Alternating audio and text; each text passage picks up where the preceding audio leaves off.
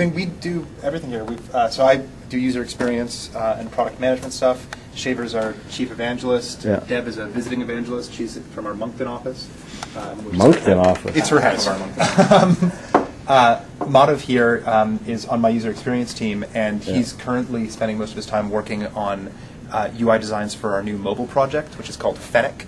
Uh, Fennec is a fox, a little fox with big, big, tall ears. He's ridiculously cute. Neat. Um, Jonathan Nightingale, who's right there, is uh, his official title is Human Shield, uh, but he works on user experience for Not, not human shield in an Iraqi Scud missile sort of human shield Ideally, way. no. Ideally, no, but more in, the, in a protecting users from some of the harmful places on the web. And there's been a, a constant tension between user experience work Yeah. and security. In fact, there's a big book that's about this thick, full of Yeah. papers on that topic. Sure, sure. And he has the enviable responsibility of being uh, the guy who, I'm in the middle of the Venn diagram. yeah.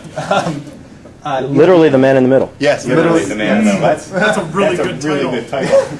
We're- No, and you're getting your new business business cards. cards, Yeah. yeah. that would be good. Um, I, w- I won't even charge a royalty. Enjoy. that would be great. Uh, that's Kyle. He just sits there and looks cute with his Live Strong bracelet. Um, Live strong, be free. Yeah. Um, Neil Deakin, let's let's actually walk. We can we can move through the office space. And then I got two more questions after that. Sure, yeah.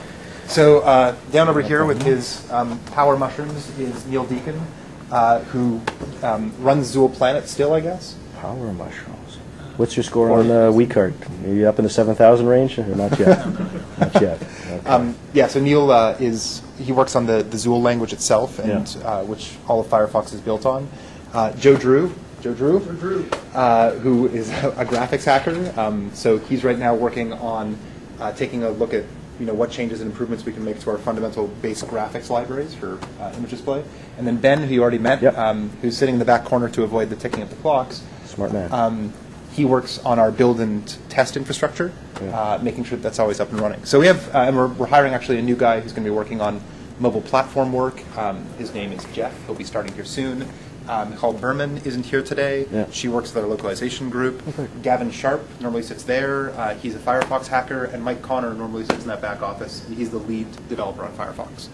So we have everything here. three, mi- three mics. Three mics, yes, three mics in this office alone, and there's another couple mics in Mountain View.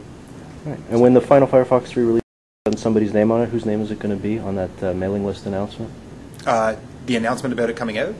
Yeah, in the. Uh, yeah, but that now, doesn't isn't that, mean isn't that I that an produce it. awesome responsibility that makes you shake in your boots? No, Or no. your shoes? You're not wearing boots? no, it's um, mailing lists are a pain, man. It's I, I, I do it because nobody else wants to put up with the bother. But um, when Firefox 3 comes out, you'll hear about it, uh, you know, really, really loud. So right now, if you go to spreadfirefox.com, you can Yeah. sign up for download day, Sure. which means you'll get an email 24 hours before we're going to release, Right. telling you to come and help us set a world record on the download rates.